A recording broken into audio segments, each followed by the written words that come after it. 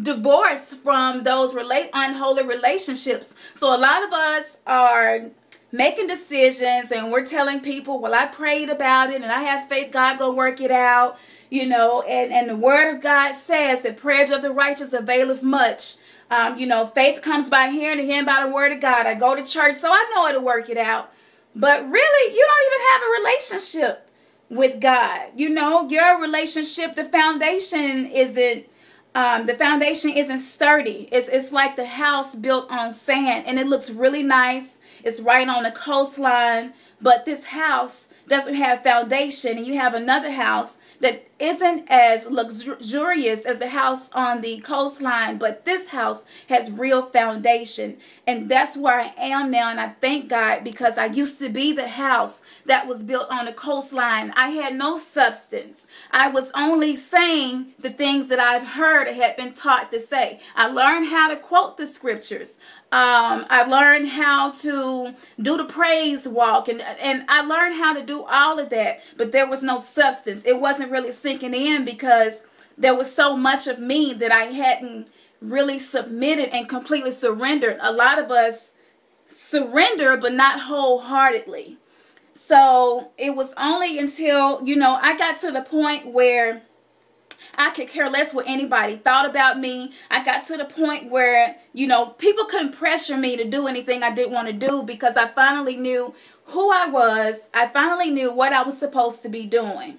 And once I got that focus, I had the foundation to build on. Yes, I'm still single.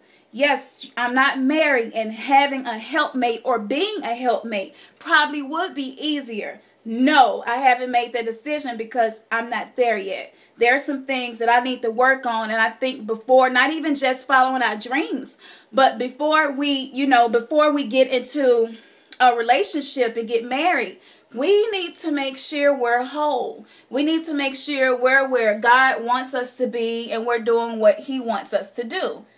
Um, you know, and and when you don't, what happens? You bring another person into the world that you have created for yourself.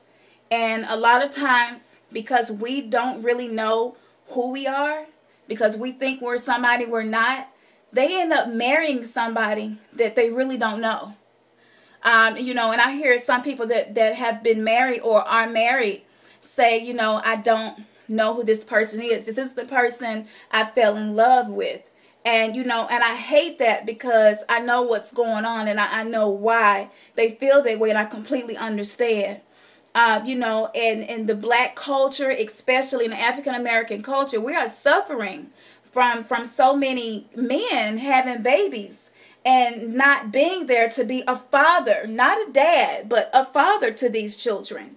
The uh, you know the black culture is just going down, and, and not to say the women aren't at fault because we're the ones that make the decision to, to have sex outside of marriage. And we know some of the implications and we know some of the consequences that can come from that. So it's on both ends. But my point in saying all of this is, and I'm not wasting 10 minutes of your time because I was really inspired to go ahead and do this video. My point in saying this is make sure it's right. Make sure it's God. Make sure that you are who you say you are. Get to know yourself.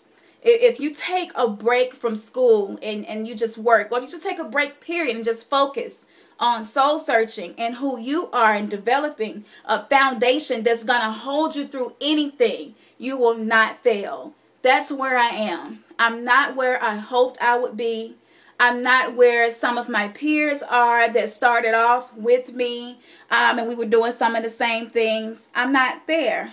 But I'm in a place where I know who I am. I have the foundation that I need, and now I can build on it. I, I operate on a higher frequency. You know, it's a funny thing. I hate to kind of rear off, but when you get when you get to a place where even your own opinion, you stop exalting your opinion above what the Word of God says, your frequency increases. You operate on a higher vibrational level spiritually. So, what happens when the enemy comes to you and he's offering you this fruit